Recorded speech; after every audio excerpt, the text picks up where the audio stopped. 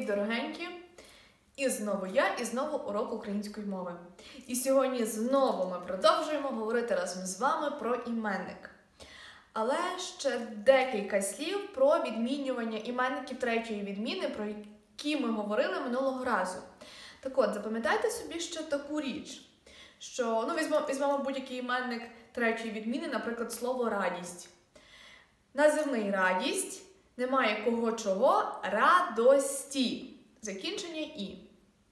Але пам'ятайте ще таку річ, що тепер, згідно з новим правописом, іменники третьої відміни, які закінчуються на т перед е, приголосним, або такі іменники, як е, кров, сіль, Русь, е, Білорусь, осінь і любов, у родовому відмінку однини можуть також мати закінчення и. Що я маю на увазі? Тобто тепер поруч із формою радості в родовому відмінку може бути правильна граматична форма за новим правописом радости. Наприклад, сіль немає з кого чого солі родовий відмінок, так? Правильно говорити і соли. Ці форми е, паралельно можуть існувати. Вони є е, обидві правильні. Просто пам'ятайте, що таке може бути. І якщо ви десь там зустрінете такий, е, так, таку форму у тексті, щоб ви не лякалися, вона є граматично правильною. Чи там, наприклад, совість немає совісти. Буде закінчення и. Кров крови і так далі. Отож, ще раз кажу, поруч із закінченням і у родовому відмінку в іменниках третьої відміни може бути закінчення и. А сьогодні ми переходимо з вами до відмінювань іменників четвертої відміни. Але спершу, звісно, пригадаємо, четверта відміна то які іменники? До четвертої відміни належать іменники середнього роду, у яких при зміні, при відмінюванні цього слова буде з'явля... будуть з'являтися суфікси, які ат, ят або ен. Отож, ще раз, середній рід іменників, і якщо вони змінюються, і при тій зміні додаються такі суфікси, як ат, ят, ен, це буде іменник четвертої відміни.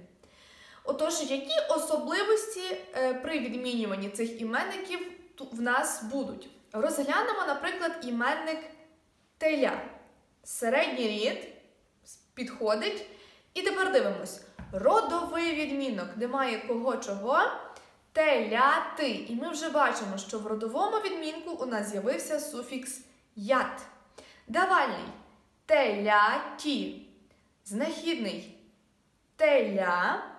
Орудний відмінок телям, місцевий на теляті і кличний дорівнює на земному і знахідному буде теж те саме слово теля. Подивимося у множині. Телята. Ми бачимо, що з'являється суфікс ят одразу в множині в наземному відмінку. Родовий телят. Зверніть увагу, що тут закінчення буде нульове.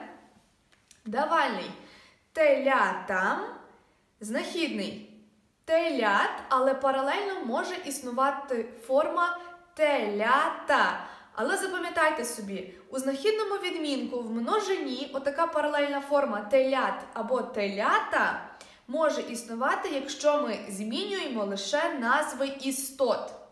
Бо зараз будемо відміняти інший іменник і побачимо, що там такого не буде.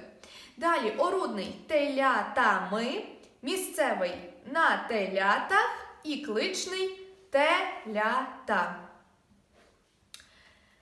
Отак, ми побачили, що одразу з'явився суфікс яд. Тому вже зовсім ніяких сумнівів не складає те, що це іменник четвертої відміни. Візьмемо тепер будь-який іменник, але щоб вже була не істота, ну, наприклад, іменник ім'я. Отож, родовий відмінок немає імені, але може бути також паралельна форма ім'я. Давальний імені, знахідний. Ім'я, орудний. Іменем але може бути також ім'ям. Місцевий. На імені і кличний ім'я. А тепер спробуємо провідміняти у множині цей іменник. Наземний. Імена, родовий. Імен, давальний. Іменам, знахідний імена, орудний іменами, місцевий на іменах і кличний імена.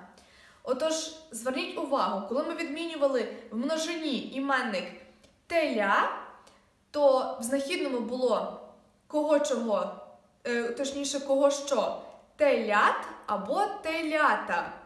Але коли ми відмінюємо іменник, який позначає не істоту, то буде знахідний кого що, буде імена. Немає там е, нульового закінчення. Не можна сказати е, кого що імен. Краще треба говорити імена. От такі особливості відмінювання іменників четвертої відміни. Слова, які потрібно буде змінити е, за відмінками, я надішлю вам на електронну скриньку. Бувайте!